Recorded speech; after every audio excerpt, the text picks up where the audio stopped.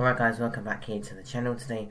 I'm going to be, uh, I'm going to be sorry talking about how Declan Rice will do in today's match versus Wolves. I think he played alright against Bayern Munich, not as his, not at his best, um, just like I said with all the other players.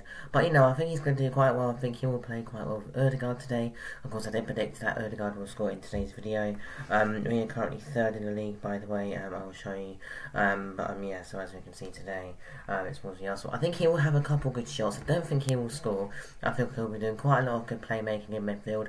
He'll be do, good, doing really good tackles and stuff and passing it over to players like Saka and Havertz and potentially Martinelli if he. Of course, the lineups um, don't come out until around about half six, half six. I think I don't even know half six. Sorry, um, but I mean I think Rice will play quite well. Um, you know I don't know if he will start. I think he will though. I definitely think he will. I think um, him, Odegaard, and Jorginho in the middle usually play quite well together. Um, but um, yeah, I think he impacted the game quite well against Bayern Munich. Um, but yeah, not one of my favourite players. I did want to see him play a little bit better. He played all right though.